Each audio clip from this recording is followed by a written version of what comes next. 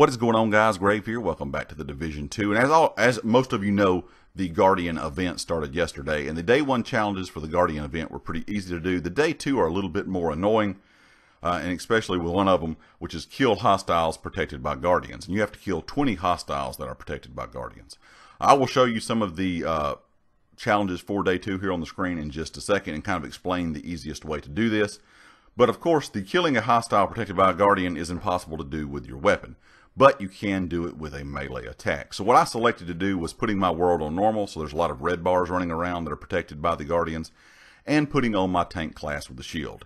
Any class with a shield, any way that you can melee these will work, but I found uh, using my tank class with the shield has a lot of survivability. I can just run around and punch stuff because a lot of other you know, things that are protected by that certain guardian are going to be shooting you in the back, as you'll see here in just a second. I pretty much just run right up into a control point and start meleeing. What you're going to do is just melee any of these targets, of course, they have the red X over their head, any of these that are protected by a guardian, and you're going to just punch them to death. Melee these uh, uh, enemies to death, and that will count as a kill on a hostile protected by a guardian. Like I said, you have to have 20 of those. But while doing this, you also can get your melee attack on protected hostiles done as well. And the good thing about this is it does not count just, you know, like each kill does not count as a melee attack. Each time you swing on a hostile, you will get one melee attack. So you can sit here and just beat on one enemy. Uh, and you can get, let's say if it takes five hits to kill that enemy, you will get five melee attacks on that hostile, if that makes sense. What I did is just ran up to a gold bar and punched it until I got the melee attack on protected hostiles done. That was the easiest way to do it. But like I said, you can do the kill hostiles that are protected and the melee attacks all in one go. But like I said, the easiest way to do it, in my opinion, is with a tank class, put the world on normal, pretty much run up into a control point like I'm doing here, and just pretty much beat on everything that's protected by the uh, Guardians.